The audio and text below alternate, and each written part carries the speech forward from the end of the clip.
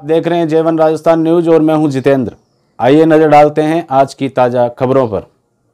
खबर नागौर ज़िले के नावा सिटी से है, जहाँ उपखंड मुख्यालय स्थित राजकीय उच्च माध्यमिक विद्यालय नावा सिटी में आज बाल मेले का आयोजन किया गया। प्राप्त जानकारी के अनुसार विद्यार्थियों ने सेल्फी पॉइंट सहित विभिन्न प्रकार की स्टॉलें लगाई।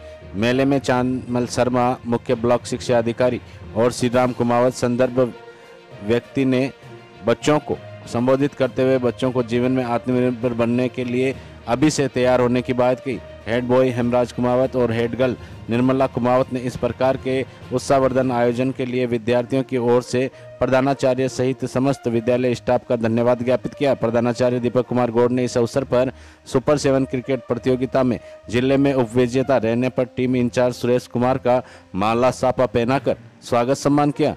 नावा सिटी से मनोज गंगवाल की विशेष रिपोर्ट